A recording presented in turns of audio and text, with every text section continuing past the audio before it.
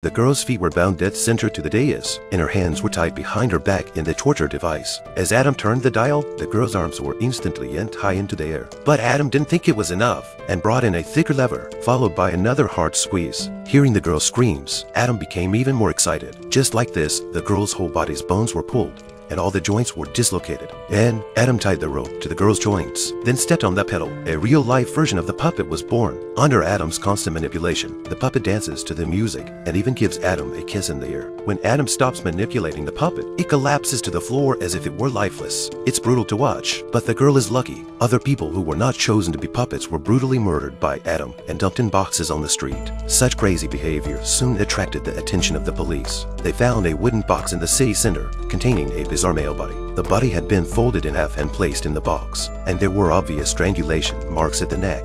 A head of blonde hair was dyed black to make matters worse. A couple three kilometers away from the crime scene had also gone missing. The boy's body was found with his brown hair also dyed black, and his death was extremely similar to the previous victim. While the girl's whereabouts are still unknown, Investigations revealed that the girl was only a baker and had very simple relationships. Combining the suspicions of the two murders, the police came to the conclusion that the murderer has a strict appearance requirements for men. Once they do not meet the brutal murder and the girl just fit the needs, so they were left behind. The murderer will surely commit the crime again next, picking a suitable male substitute. While the police had just come to a conclusion, Adam had set his sights on another dark-haired man, pretending to be attacked. He knocked on the man's door looking for help. The eager man opened the door unsuspectingly, not realizing that the other man had quietly taken out a prepared tranquilizer needle and committed another crime, and with that he was smoothly brought back home. Made into a mannequin of the living has been complete. He was excited to give the girl put on the headdress, despite the other side of the bitter plea. Directly pull out scissors to force cut the trouser tube, and then tied the two people to a piece. Took the tools to make a mannequin, ready to give the target to play a hole. He was seen aiming the nails at his wrists and dropping them down hard. Adam roared in anger, having intended to nail down the hole to manipulate the mannequin, but it hit the aorta and the mannequin just died. His plan went out the window. Seeing his panicked appearance, Shorty hated him and snarled, Instead of taking command like an adult, you're sitting in here crying like a baby.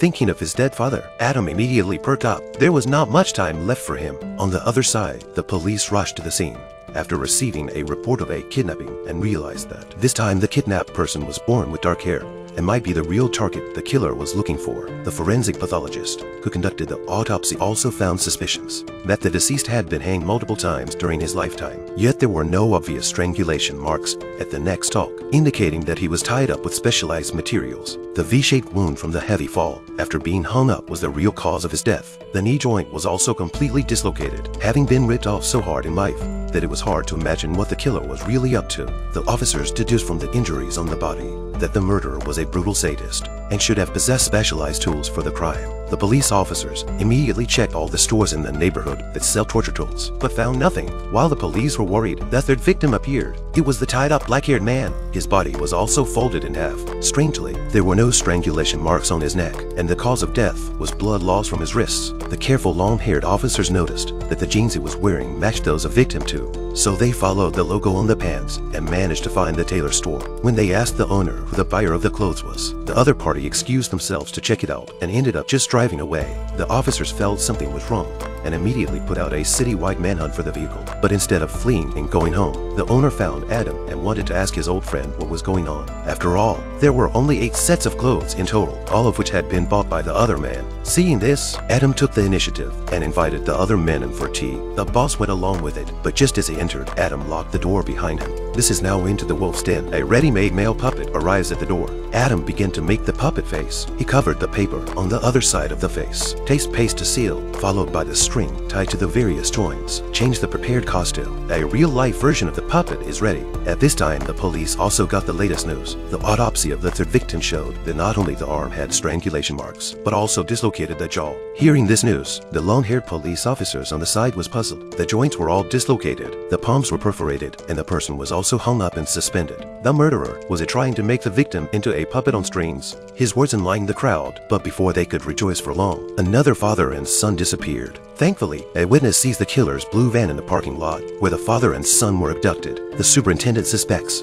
that the killer's motive may be linked to the father-son relationship. Sure enough, the policewoman finds out from the files that a famous puppeteer died in an opera house robbery 50 years ago, and his son Adam just happened to witness it all. Adam happened to be a regular customer of the costume store. Immediately afterward, the policewoman figures out that this puppeteer's best pair of creations, the man with black hair and the woman with red hair, there was no doubt that Adam was reenacting the Opera House robbery from back in the day, so he must be there at this very moment. The crowd rushes to the Opera House and, sure enough, Adam puts the kidnapped father and son on stage and begins rehearsing confidently. As the machine spins, a performance of string puppets is about to begin, but the man puppet on stage refuses to cooperate, only to be seen struggling in a last-ditch attempt to make a last stand, and the next moment he's thrown heavily to the floor. Adam warns him that if he doesn't behave, everyone will die, and with that, he picks up a firearm and shoots it directly into the thigh of his father, who is standing by as a warning. There can be no room for error in this carefully planned show. The stage will be packed by then, and it is imperative that they approve.